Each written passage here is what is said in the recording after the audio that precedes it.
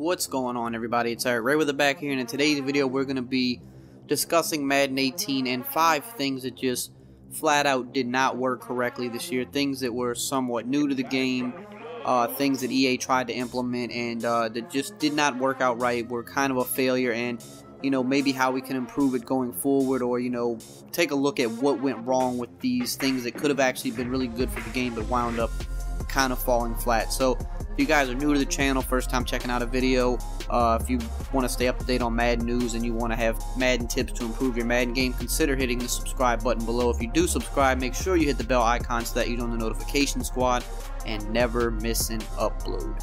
So let's get right into it. Five things that simply just did not work this year that just fell flat and I think number one on the list has to be target passing. Uh, target passing was a new mechanic that was put into the game this year. It was one of the big, you know, selling points. It was, you know, a box feature. It was something that people were looking forward to. It was it was displayed heavily in the first, you know, gameplay clips and gameplay trailers. Uh, you know, now you could throw the ball where you could never throw it before. You could lead receivers into open areas like never before. You could thread the needle in a tight coverage.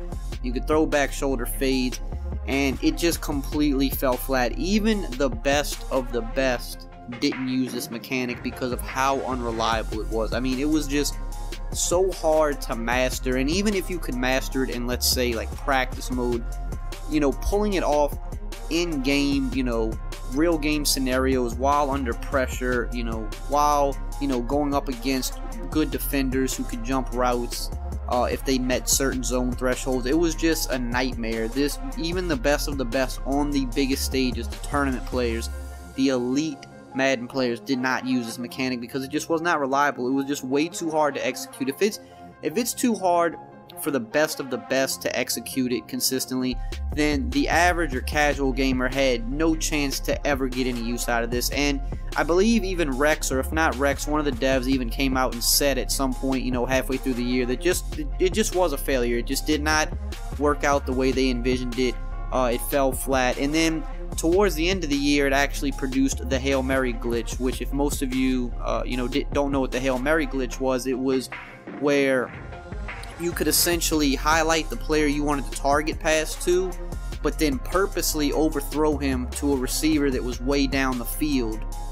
But the computer, the defenders, the AI thought that you were trying to pass it to the other guy, so they would still bite on the other wide receiver, leaving the guy on a streak or a Hail Mary uh, throw wide open for a touchdown. Now, EA did patch this up pretty quickly once it became a thing, but it's just you know, it, target passing didn't work to begin with, and then it even turned into something that was really glitchy at, at a certain point of the year. So probably the, you know, the biggest, grandest fail uh, of the year for EA. But uh, with all that said, let's move on to number two, and that would be the coaching adjustments. Again, something else that was just so hyped up coming into this year was something we had in NCAA in the past. It was you know, anybody that played NCAA, it was this was always one of their favorite features. You know, you could set your pass rush to aggressive, or you know, you could set it to conservative if you know, depending on what what the game script called for. Uh, you could tell your defenders to play aggressive against the ball in the air, or you can tell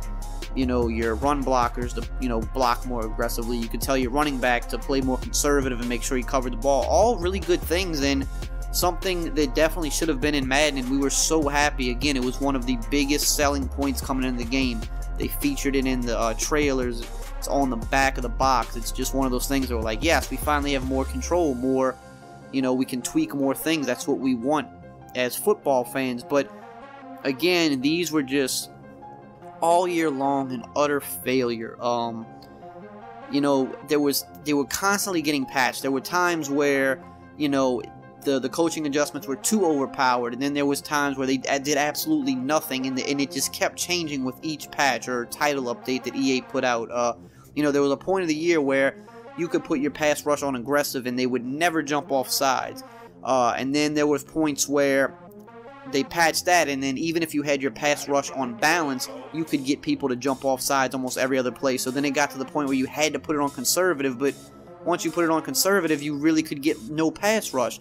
And then just like that, a couple weeks later, people found out that, oh, if you use certain defensive formations, you can leave your pass rush on aggressive all game and they'll almost never jump off sides. And then and then with the with the ball carrier, there was a point of the year where you could put your uh, your running back on conservative, but you could still juke everybody and make the first defender miss. So you would pretty much never fumble, but the jukes and the spins were so overpowered that you could make the first defender miss every time too. So you got the best of both worlds. And then it got to the point where they're like, okay, we have to patch that. So if you're on conservative, you can't make people miss anymore, but you probably won't fumble. But then that caused a problem later down the road where that once you started putting your uh, ball carrier on even conservative, he would fumble a lot. And it just, no matter what you did, they just, they were not consistent at all this year. They did not work. Um, and it's almost one of those things where I don't want to say take it out of the game completely. I would hope that there's a way that they could actually fix it and make it work, but it just seems like one of those things that there's always going to be a problem with it. There, no matter you know whatever title update it is, they're going to tweak something, and then it's going to go from being over effective to being useless, and then people are going to find another way to make it over effective, and then they got to patch it again and make it useless, and it's just it's a constant up and down, and you know it's it's a great feature that I think we all want in the game, but clearly it was an utter failure uh, this year. Um, and while we were kind of let's piggyback off that and go to number three, which was ball carrier moves. So let's rewind a couple years. The double juke was like really overpowered in Madden. It definitely took a little bit of stick to pull off, but it was overpowered. So then in Madden 17, pretty much ball carrier moves were useless. The only thing you could do is truck. Get a trucking back and truck. Um, couldn't spin, couldn't juke. They were useless. This year, they're like, okay, we need to bring it back. We need to make it able to juke and spin. We need to, you know, revamp the ball carrier moves. And at the beginning of the year, it was like, all right, cool. We can finally have stick again and, you know, make people miss. But Again, it fell flat on its face. Juking and spinning was just far too easy. Literally anybody could pull it off. You can make the first defender miss every time, whether it was a computer defender or a user defender. Didn't matter if you were in perfect position. If someone pulled off a juke or a spin, they were pretty much going to make you break your ankles every time make the first defender miss to the point where in Ultimate Team they started putting the chemistry secure tackler on certain really good cards to where they wouldn't get faked out, or, excuse me, the unfakeable chemistry where you couldn't fake this player out. So instead of just fixing the ball carrier moves and saying, hey, we're not going to make it to where you can juke the first defender every time, they were like, well, in Ultimate Team, if you spend some more money, we'll give you an unfakeable chemistry. But the crazy thing is, is even some of the unfakeable cards at times would still get faked out. Not as much as the other cards, but they still would. So it was just one of those things where it, the ball carrier moves were useless last year, but then this year they were just too OP to where that's all people wanted to do was run the ball and just juke and spin. Literally, the most basic average player that wasn't even that good at the game could run the ball all game because of how overpowered these moves were. And then later in the year, trucking becomes overpowered again to where you can literally truck the air. You could truck nobody and it would fake the defense out. And that's still a problem that's happening in the game now. So ball carrier moves as a whole just did not work this year. They tried to patch him at a certain point, but they were still very over effective. Like I said, you can truck the air and make your defend. The, the, the, you can make the defenders dumb out, and you can still spin and you can still juke them pretty much the first time. And it just makes it for a bad game. It doesn't matter how good you are on defense. You can run commit. You can play the right defense. You can be in position and still get faked out. Takes the skill gap out of the game. So ball carrier moves, they brought them back uh, revamped them, but they fell flat on their face because they were just way too overpowered to where anybody can do it, and that's all you saw. Uh, so going into number four, uh, catch animations were really bad this year. You know, a few years back, they put all the new catches in the game, the possession catch, the aggressive catch, the RAC catch. Very great addition. One of the best things they've put in the game in a while, in my opinion. But this year, uh, you know, the catch animations just, you would press you know, a RAC catch and you would have, you know, the defender beat for three or four yards. All you have to do is just run under the ball and run into the end zone. And they would go aggressive catch the ball randomly. Now, they wouldn't do it every time, but there were far too many times this year that on a RAC catch, somebody would go up for, a, for an aggressive catch. And when you did that, it gave the defender, you know, just a couple extra seconds to actually catch up to you and hit you in the air. And then you would drop the ball when you should have just been walking in for a touchdown. Um, there were also plenty of times this year for the first time ever that you would try to go for a possession catch a lot of times and then you would go for a RAC catch. And this usually would happen on short passes where you kind of had to try to trigger your your possession catch quickly because maybe you were just throwing like a really short five yard pass. But you know, in years past, the last couple years, you could still trigger that possession catch and catch it and go down. But this year, a lot of times when you try to trigger that possession catch, they would actually do a RAC catch and then run right into the defender and drop the ball. So just all in all this year, catch animations were bad. You, you know, you would tell your receiver to do one thing and he would do the other thing. And that's just not good because that's literally taking the game out of your hands. That's saying, well, I know this is the type of catch you want to make, but for whatever reason, we're going to trigger this other catch for you. And then because of that, you lose out on a touchdown, or maybe it was a fourth down and you should have had a clean catch, but you dropped the ball because your guy went for the wrong animation that you didn't tell him to go for. So definitely something they need to fix uh, going into next year.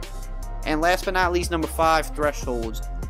Thresholds, thresholds, thresholds. So coming into the year, again, something else we were excited about. We heard, okay, you know, if my guy has a certain catch rating, he won't drop the ball if he's wide open. If a certain defender has a catch rating, he won't drop wide open interceptions. Uh, if a quarterback has a certain accuracy rating, he won't overthrow the ball if he has a clean pocket. All things we like because we like control over the game.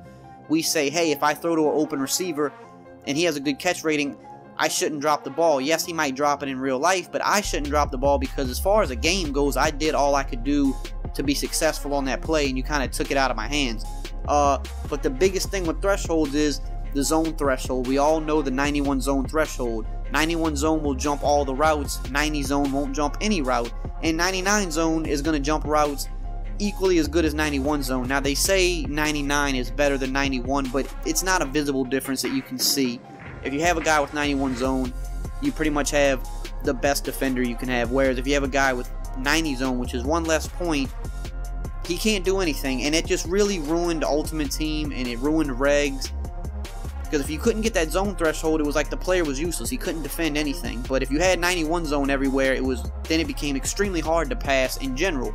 Um, but then even other thresholds were broken. You know, defenders would have the catch rating that you needed to not drop picks, but they would still drop picks a lot of times. And uh, you know, it's been a problem forever in Mad. You know, there would be, you know, still quarterbacks that had the threshold for accuracy and would still overthrow passes. So it's like if you're gonna put thresholds in the game, they have to matter. But you know, the way they did it, just I mean, they had a good idea, but it just didn't. I think they didn't implement it right. They probably should go back to having incremental increases, but actually make those increases matter because you know there shouldn't be a night and day difference between 90 zone and 91 zone. I think we all agree with that.